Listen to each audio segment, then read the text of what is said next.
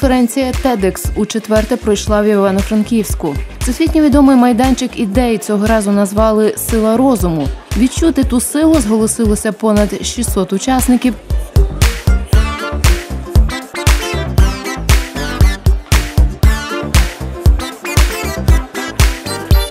Вони заздалегідь розкупили квитки на 12 спікерів з України та з-за кордону.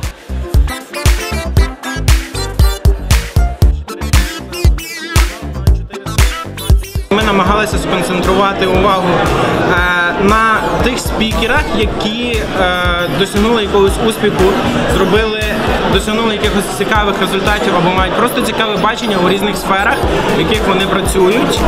Е, і сьогодні ми би хотіли, щоб люди, які прийшли до нас, наші гості, наші учасники, вийшли звідси мотивованими і взяли якомога більше інформації. Тим часом шестигодинний марафон TEDx стартує.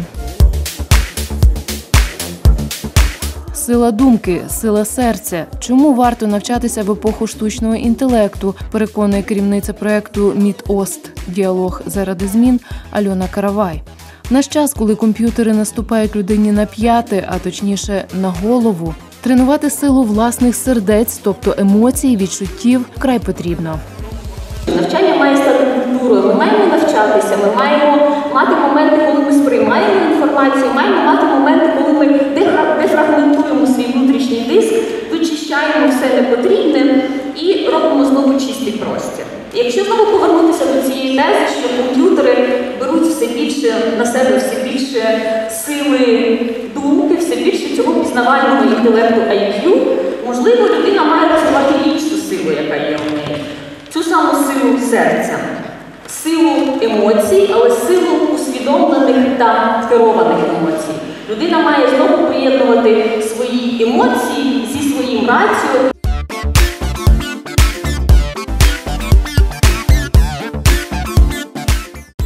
40 тисяч кілометрів і 29 країн на велосипеді за плечима в унікальної пари Володимира Муляра і Ярини Квітки, засновників культурно-мандрівницького фестивалю Двоколісні хроніки та гурту Фолькнери.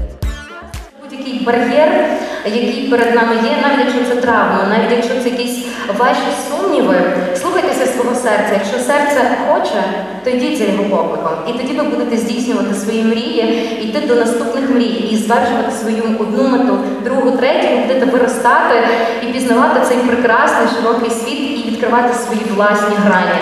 Бо сидячи вдома, ми такі трошки вузенькі, а коли ми вилітаємо в світ, стаємо птахами вільними, ми починаємо відкривати в собі нові можливості. Можливо, нові таланти, можливо, знаходити нові професії і щоразу йти до мети. Це шлях до мрії.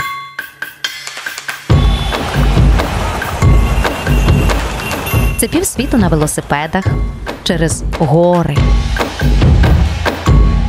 пустелі, моря, через глухомань і вершини розвитку, крізь дощ, сніг, холод, Різдвом вас, любі друзі! спеку. Двоколісні хроніки це пригоди Я ніколи так не в'їжджав в якусь країну. та енергетичні зустрічі. В святкують свято Холі. Це занурення в таїнство інших культур, Погане, нечисте, зле,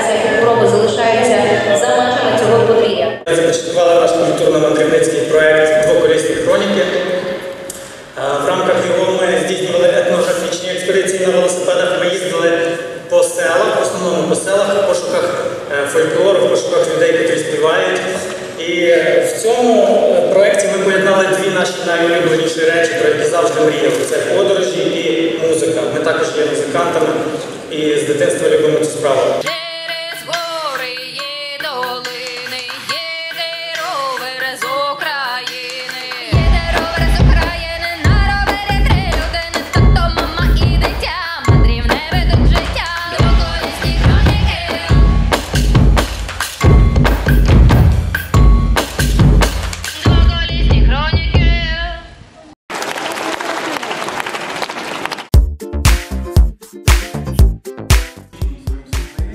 Як переживати життєві стресові ситуації, долаючи усталені звички поведінки, навчає філософ і дослідник з Казахстану Жасулан Абішев.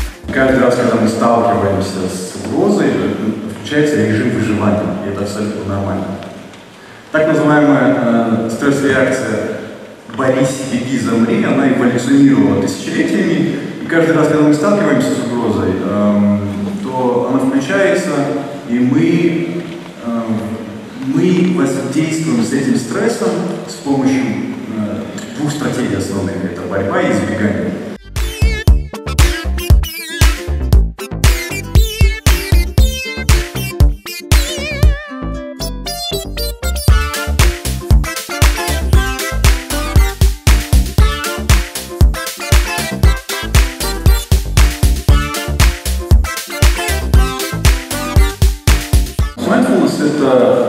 Это безоценочное, внимательное, осознанное присутствие в собственном опыте, как есть, здесь и сейчас. Исследования показывают, что наш ум бывает, он рассеян во всем, он блуждает постоянно, внимание рассеяно и думает о том, что не происходит. Он либо в ожидании того, что будет, да, о будущем, либо вспоминает постоянно прошлое, то, что ушло. Исследования также говорят о том, что это делает нас несчастными. Внимание рассеяно, а, мы не можем его собрать. И практикуя mindfulness, мы собираем рассеянный ум, собираем рассеянное внимание.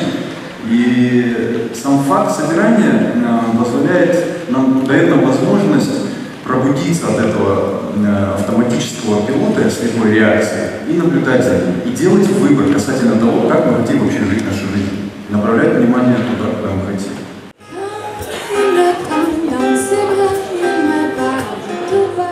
Після лекції з філософії трохи музичного релаксу для підживлення емоційності нашого інтелекту.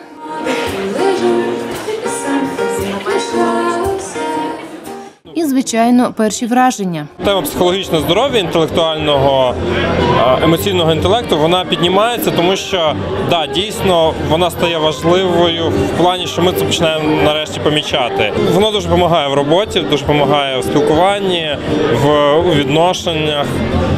І тому, е, якщо люди почнуть це вивчати, і це стане таким одним з е, як з фізичною да, от у нас в школі є фізкультура, щоб е, проводилася і психологічна культура, і емоційна культура, то звісно світ трошки поміняється на краще. Спікери надихнули мене на створення чогось нового, на кроки вперед. Можливо, виявили те, що вже було всередині, але не виявлялося.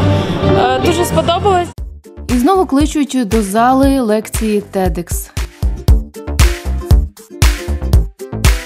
Як зробити, щоб українські мізки працювали на Україну? Ставить небіологічне питання доктор біологічних наук Володимир Лущак. Кількість статей, які вийшли з цієї кафедри, зверніть тільки в журналах, які цитуються в міжнародних базах даних. Не місцевого розливу, ми це не визнаємо. Ми майже друзі в Україні кажуть, що ми не патріоти, ні, ми патріоти. Подивіться, піднімають після 2000 року. З'явилася команда і повалили цитування. Зараз понад 4 тисячі цитувань. Це французька школа біохімії має. Нас визнав світ. Ну так, світ визнав, в принципі. Майже ровесник Володимира Лущака, американець Алан Янг в якості волонтера Корпусу миру США допомагає владі Хмельницького вирішити проблему сміття. Світ давно пішов шляхом роздільного збору і повної переробки відходів.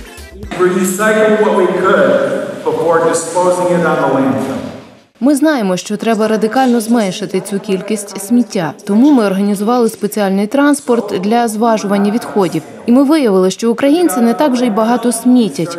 Вони дуже економні люди. Наступне питання: що складається це сміття? Українцям не подобається торкатися сміття, тож ми найняли спеціальну техніку. Половина сміття органіка, картопляна та бурякова лушпайки. Якщо ж серйозно, то ми гайнуємо час. І якщо через 5 років нічого не зробимо, в Україні наступить сміттєвий апокаліпсис.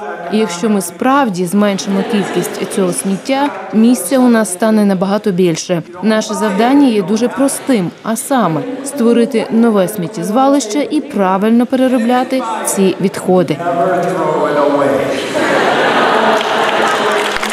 Насправді тема сміття від американського експерта отримала найбільше оплесків та веселої реакції залу TEDx.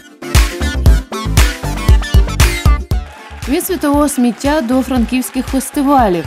Композитори Роман Григорів та Ілля Разумейко поділилися досвідом арт-менеджменту. Вони поламали стереотипи традиційних фестів, тому їхнє дітище Порто-Франко став відомим у цілому світі. А раз на рік Івано-Франківськ стає містом всіх релігій, націй і мистецьких напрямків. Дивіться, ми композитори, ми пишемо музику. І тут ми почали писати не музику, використовувати інші засоби. Цілі пласти культури ми почали об'єднувати і компілювати. В результаті е, ми це мислили як твір, як ну, твір мистецький. Е, Так виглядав наш е, перший логотип. Дуже Наш- європейський, кстати, логотип. І наш перший білборд, і що таке власне е, організація фестивалю як композиція. От ми бачимо внизу ці маленькі логотипики. Це різні різні люди. Це спонсори, це журналісти, це, це це політики. Да. І для того, щоб зробити фестиваль, треба дуже дуже довго зі всіма цими людьми домовлятися. І особливо складно це робити. От в цьому буде.